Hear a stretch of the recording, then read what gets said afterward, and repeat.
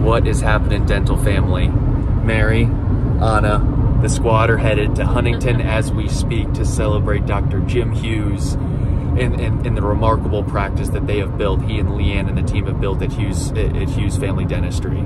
So um, the party today is going to be from noon to 2, so come on out. We'll have food and drinks. Uh, should be a really fun event. Uh, just, uh, again, really want to be able to just celebrate how, how, how impactful they have been in their community the last 25 years. I know uh, Dr. Hughes and Leanne were telling me this week how many letters they've gotten and how many patients have stopped in.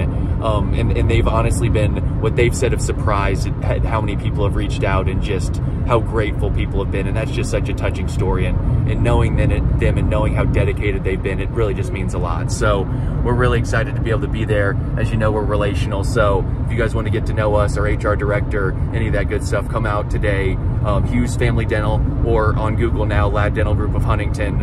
Um, find that location and come on out. Really looking forward to seeing you guys. See ya. Adios.